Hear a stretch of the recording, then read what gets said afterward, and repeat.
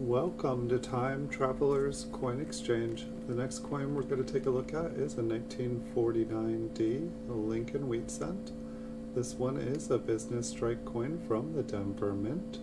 It has been graded by PCGS and they graded it Mint State 65 red. We'll take a look at Lincoln on the obverse and then we'll take a look at the reverse design. This coin is going to go up for sale on my eBay store. You can find it by following the link in the description below the video. It'll take you to this exact coin on eBay. Once there, you can also find over 4,000 PCGS graded coins for sale.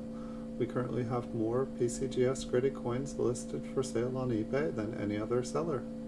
Thank you all so much for watching. Wish you a beautiful week, and I'll see you all in the future.